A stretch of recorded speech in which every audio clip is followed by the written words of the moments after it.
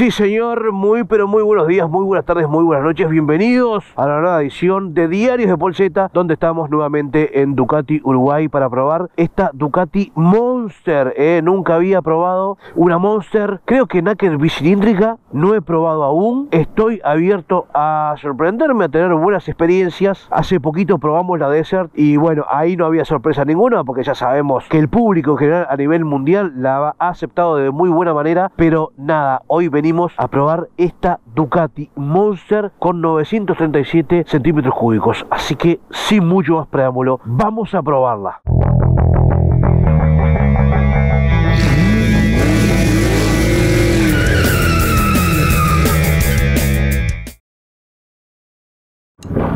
Uh, señoras, señores, momento de Monster.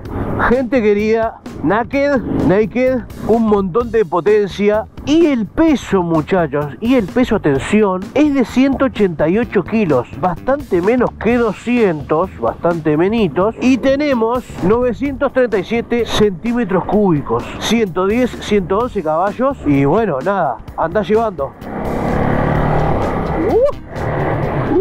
Quick Shifter, otra vez lo explicamos aquí. Quick Shifter no implica solamente hacer cambios sin apretar el embrague y dejando de acelerar. ¿Se entiende? ¿Esto qué quiere decir? Que los cambios los vas a poder hacer acelerando y sin dejar de dar gas. Vas a pegar pataditas y la caja de cambio va a responder a aumentar la velocidad según quiera sin dejar de dar gas.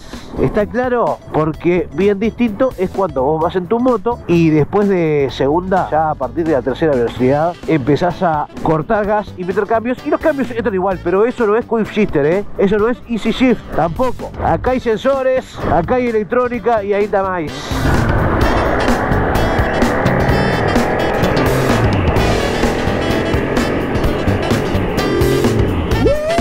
¡Oh, ¡Dios! ¡Ah!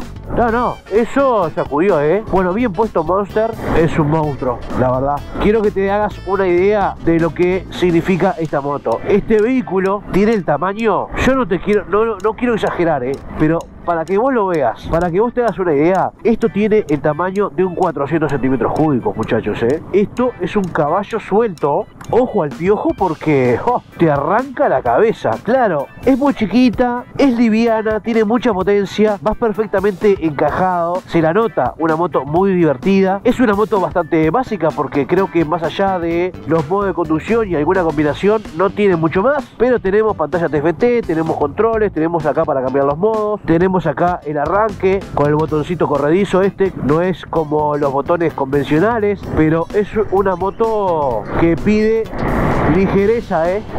Pide ligereza y te digo, voy apretando hacia adentro cuádriceps y es muy, muy finito. La ergonomía que tiene esta moto es increíble. La verdad, nunca había tenido la posibilidad de probar una moto de estas. Y bueno, hace poco probé la Desert y debo admitir que esta moto me sorprende un poco más. La Desert ya con el amigo Charlie Sinewan tiene como, digamos, un camino allanado en lo que tiene que ver con la venta, el marketing y información. Pero esta moto no. Y la verdad que me sorprende para bien, ¿eh? Ya te digo, esta cosa del tamañito es, es como muy interesante y la hace ideal, muy, muy amigable para lo que son los circuitos urbanos, ¿eh? Che, muy bien, ¿eh? La verdad. ¿Cómo responde esto?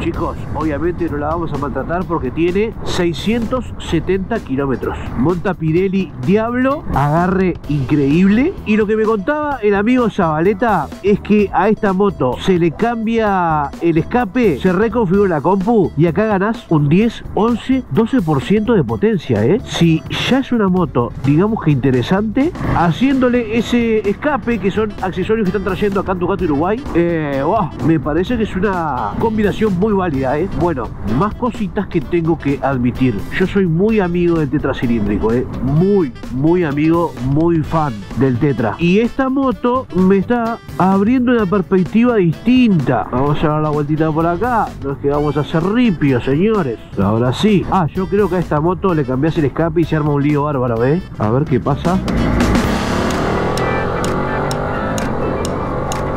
Quick Shifter, a full.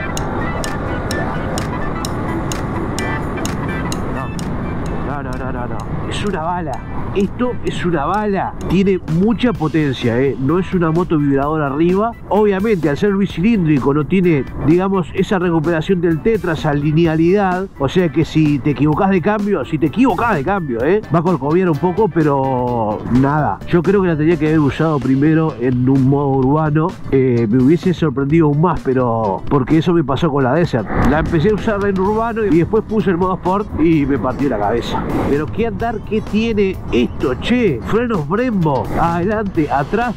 Muy buena intención esta moto, ¿eh? Es una moto pequeña y muy, muy ágil. Eso le da, obviamente, un carácter extra deportivo a un Naked que ya digamos que por defecto el Naked tiene esa tendencia a ser una moto deportiva. Vamos a ver si podemos mirarla un poquito más por acá, a ver si encontramos alguna sombra, no nos vamos a ir muy lejos. Acá está bien, acá está bien. Perfecto. Bueno, gente querida, acá la tenemos. Sorpresa en el canal Diarios de Polseta. Una moto con mucho diseño, con mucha terminación, con mucho detalle. Miren, por ejemplo, acá son bobaditas, pero hay otras motos que no lo traen. Acá trae el asiento grabado, dice Monster. Acá también. No es cuero, es como un sintético, pero tampoco es eh, el asiento deportivo de la mayoría de las Naked, el duro es un asiento como, como muy agradable. La moto en sí es muy, muy agradable porque no estás peleando con la moto. Es una moto que se lleva muy natural, que no tiene mucho misterio para manejarla y que sorprende por la bravura. Bien puesto el nombre Monster, por lo menos en esta cilindrada, por lo menos en esta configuración peso-potencia y si a esto agregamos cambiar el escape y obtener un poquito más de potencia, ni te digo, flor de moto. Lo de siempre chicos, es una naked totalmente desprotegido acá, naked, naked, como quieran llamarle, inglés, español, está todo válido. Significa desnuda en inglés,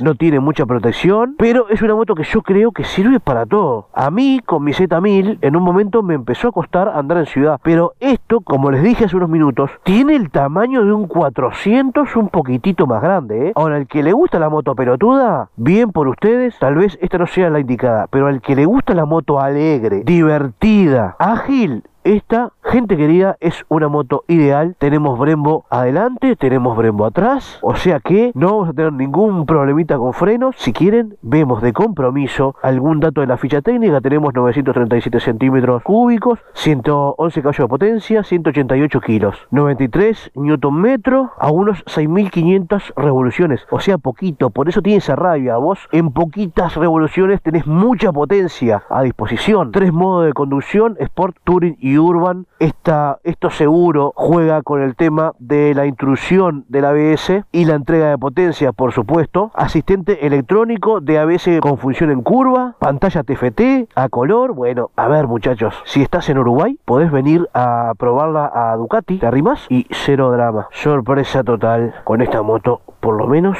en lo que a mí respecta, que tengo un 900, que tengo un tetracilíndrico con 125 caballos de potencia. Y pensé que iba a haber como más diferencia en el tema de sensaciones pero esta es una moto interesante chicos. Mínimamente interesante de verdad. Y podrán decir ah bueno lo que pasa es que ahora Ducati te está apretando moto y vos estás hablando de eso. Amigo lo que te puedo asegurar que yo no voy a destacar nada que no sea no destacable porque primero iría contra mis principios. Segundo pierdo credibilidad. Y tercero no tiene el mayor sentido si veo que hay una moto que me desagrada mucho por HBC motivo, muchas veces prefiero no hacer el video porque, a ver, terminan siendo opiniones personales, gusto de consumidor, pero sí no voy a decir una cosa por otra, ¿eh? No voy a decir que me gusta o que me sorprende algo que no me sorprende o que me parece interesante cuando no me parece nada interesante. Vamos a cambiar un poco el modo de conducción porque el Sport, ya te digo, es para picantear y te va a dar mucha alegría y te va a dar mucha adrenalina. Eh, modo Dejamos apretadito, muy amigable también. Arriba abajo Touring, Urban. Vamos con Urbano, ¿les parece?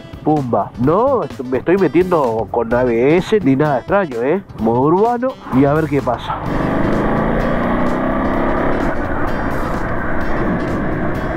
Bueno, obviamente se nota una moto mucho más dócil, pero a su vez se nota mucho más que vos tenés el control de la situación. Porque te digo que en el modo Sport, si vos tenés una muñeca media pesada, o sos un piloto avesado, o no la vas a tener tan controlada. Me parece que para el día a día, el modo urbano es un modo ideal, la verdad, para esta moto. Y de repente, si querés en otro momento un poco más de diversión, un poco más de picor, el modo Sport no te va a defraudar. Pero lógico, muchas veces pasa eso. Vos vas a poner modo Sport y vas a terminar andando en, en zonas interurbanas o urbanas propiamente dicho y vas a sentir que la moto corcovea un poco, un poco nada más. ¿eh? Yo he visto otras motos que son mucho más corcoveadoras en bajas revoluciones porque piden más. Esta moto pide, pero mira por dónde pasa este, por el medio de la cosa. Bueno, vamos a dejarlo pasar. Pero te decía, muchas veces por tener toda la potencia disponible, la usamos en momentos donde no la tenés que usar, donde sobra. Porque hay momentos, chicos, chicas, que la potencia sobra, es normal eso. Y acá tiene mejor distribución en el andar. Digo en estos tramos donde sabes que vas a hacer 2 kilómetros, semáforo rojo.